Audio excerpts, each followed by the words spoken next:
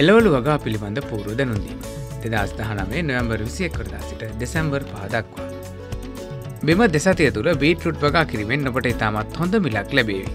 මෙම දෙසතිය තුළ බෝංචි වම්බටු ගෝවා ලීක්ස් රාබුවගා කිරීමෙන් ඔබට සාමාන්‍ය මිලක් ලැබේවි. මෙම දෙසතිය තුළ මාළුමිරිස් කැරට් පිපිඤ්ඥා මෑකරල් වැටකොළු වණ්ඩක්කා වට්ටක්කා පතෝල වගා කිරීමෙන් ඔබට අඩු මිලක් ලැබේවි.